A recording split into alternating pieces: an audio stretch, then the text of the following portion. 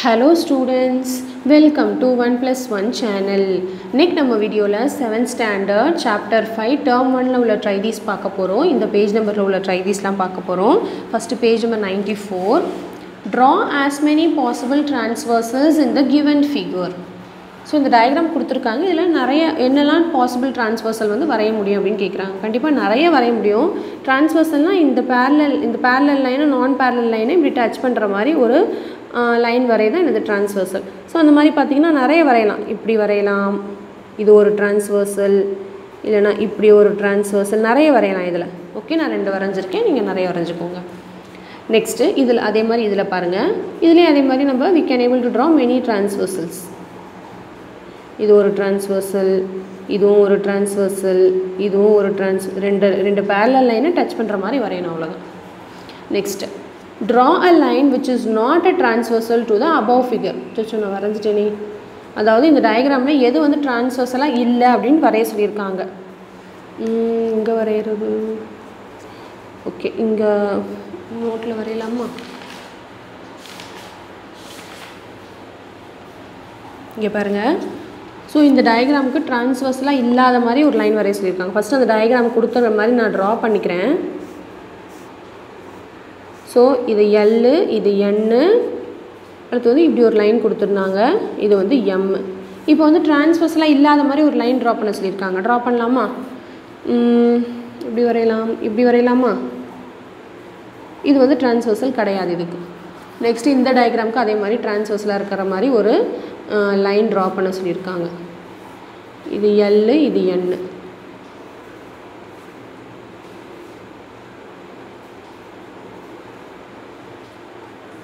இப்போ அதே மாதிரி இதுக்கு ட்ரான்ஸ்வர்ஸ் லைன்லாம் இப்படி வரைஞ்சிக்கலாம். இது வந்து டிரான்ஸ்வர்சல் கிடையாது தான் ஸோ இதுக்கு ஒரு நேம் வச்சுக்கலாம். ஓகே நிறைய வரையலாம் இந்த மாதிரி. Next sum how many transversals can you draw for the following two lines so இந்த ரெண்டு பேரலல் லைனுக்கு எத்தனை டிரான்ஸ்வர்சல் வரைய முடியும்? We can draw many transversals we not count நிறைய டிரான்ஸ்வர்சல் வந்து இதுக்கு வரைய முடியும். ஸோ என்ன எழுதலாம்? Many transversals okay next page number ninety six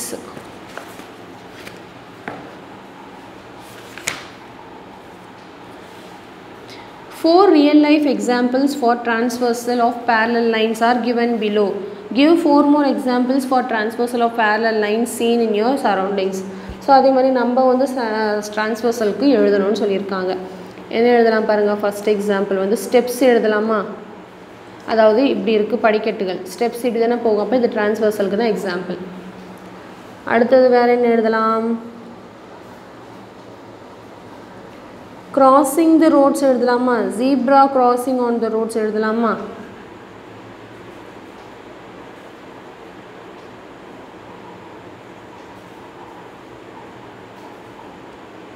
அதுவும் வந்து ஒரு டிரான்ஸ்வர்சலுக்கு எக்ஸாம்பிள் தான். அடுத்து என்ன எழுதலாம்? விண்டு ஸ்க்ரீன் வைப்பர்ஸ் இன் கார் எழுதலாமா? வைப்பர்ஸ் காரோட வைப்பர்ஸும் வந்து ட்ரான்ஸ்வர்சல் தான். விண்டு ஸ்க்ரீன் வைப்பர்ஸ் இன் கார் இதுவும் ஒரு எக்ஸாம்பிள் எழுதலாம். Okay next second sum find the இன்னொன்று எழுதணுமா? வேறு என்ன எழுதலாம்? ஃபோர்த் எக்ஸாம்பிள் டை எழுதலாமா? Tie shirt tie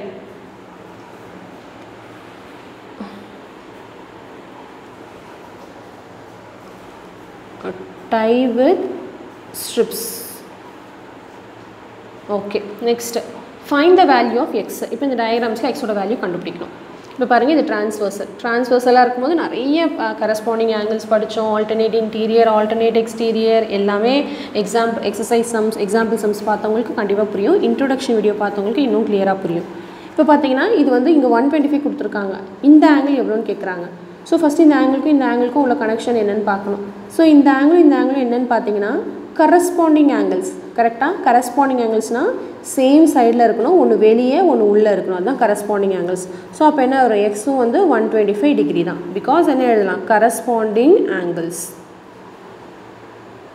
corresponding angles are equal clear next இப்போ அதே மாதிரி இங்கே பாருங்கள் இது இதை வந்து இப்படி கூட நீங்கள் திருப்பிக்கோங்க ஒன்றும் பிரச்சனை இல்லை. இப்படி திருப்பிக்கோங்க. இப்போ இது தெரியுதா டிரான்ஸ்வர்சல்னு இப்போ இதுவும் பார்த்தீங்கன்னா சேம் சைடு தான் இருக்குது ஒன்று வெளியே ஒன்று உள்ளே இருக்குது இது வந்து வெளியே இருக்குது இது வந்து உள்ளே இருக்குது கரெக்டாக இந்த லைனுக்கு இது வெளியே இருக்குது இந்த லைனுக்கு இது உள்ளே இருக்குது அப்போது இதுவும் வந்து கரஸ்பாண்டிங் ஆங்கிள் தான்.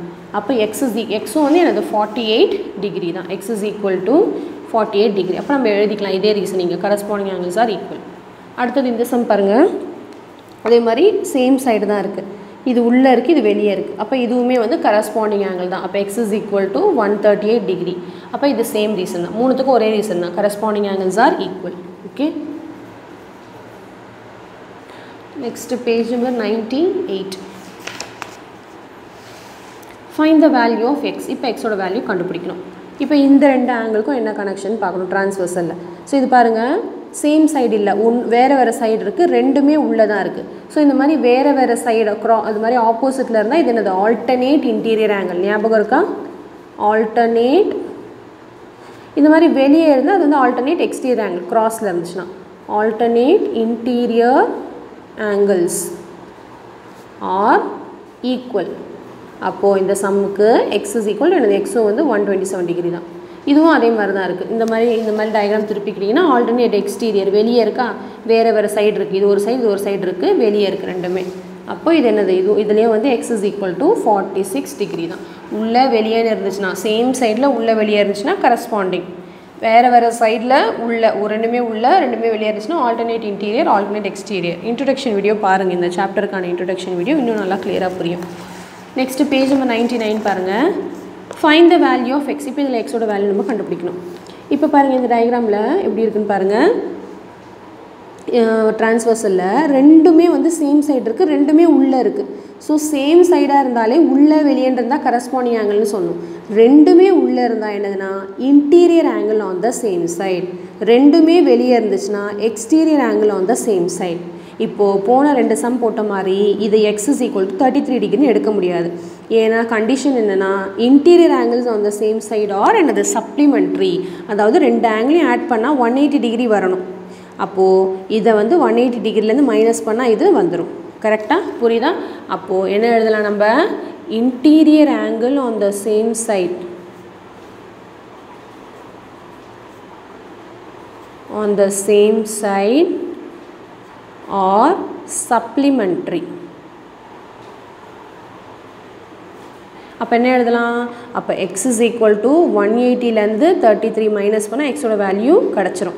இப்போ என்ன வரும்? Ten minus three seven seven minus three four one forty seven degree okay இப்போ அதே மாதிரி போன ட்ரைடிஸ் பார்த்தோம்ல அதில் பாருங்கள் இதில் என்ன எழுதணும்னா இதுக்கு வந்து ஆல்டர்னேட் இன்டீரியர் ஆங்கிளார் ஈக்குவல் இதுக்கு என்ன ரீசன் எழுதணும்னா ஆல்டர்னேட் எக்ஸ்டீரியர் ஆங்கிளார் ஈக்குவல் எழுதணும். ஏன்னா வெளியே இருக்கல எக்ஸ்டீரியர் மறந்துடாதீங்க. இதே இதுக்கும் எழுதிடாதீங்க ஆல்டர்னேட் எக்ஸ்டீரியர் ஆங்கிளார் ஈக்குவல்னு எழுதணும். ஓகே அடுத்தது. இப்போ அடுத்த சம் பாருங்கள் இதில். இப்போ இது பாருங்கள் இப்படி வச்சுக்கோங்க. இப்போ பாருங்கள் ஒரே சைடு இருக்குது ரெண்டுமே வெளியே தான் இருக்குது உள்ளே வெளியே இருந்தால் தான் கொரஸ்பாண்டிங் ஆங்கிள் ரெண்டுமே வெளியே. அப்போ இதுவும் வந்து எனது இன்டீரியர் ஆங்கிளும் அந்த அதாவது எக்ஸ்டீரியர் ஆங்கிளும் அந்த சேம் சைட் இது வந்து interior angle on the same side இது வந்து exterior angle on the same side இதுவும் வந்து சப்ளிமெண்ட்ரி தான். ஸோ இதே ரீசன் தான் இதுக்கு எழுதணும். இந்த இன்டீரியருக்கு பதிலாக என்ன எழுதணும்னா எக்ஸ்டீரியர்னு எழுதணும். மறந்துடாதீங்க. இஎக்ஸ்டிஇஆர்ஐஓஆர் ஸோ இதை எழுதிட்டு அப்படியே angle on the same side are supplementary so அப்போ இதுவும் வந்து ரெண்டுத்தையும் ஆட் பண்ணால் ஒன் எயிட்டி டிகிரி தான். அப்போ எக்ஸை வந்து ஒன் எயிட்டிலேருந்து ஒன் தேர்ட்டி டூவை மைனஸ் பண்ணால் நம்மளுக்கு கிடச்சிரும். So ten minus two eight seven minus three four forty eight degree clear so அவ்வளோதான் நம்ம இந்த ஃபோர்த் சாப் ஃபிஃப்த் சாப்டரில் உள்ள ட்ரைதிஸ் ஃபுல்லாக முடிச்சிட்டோம்.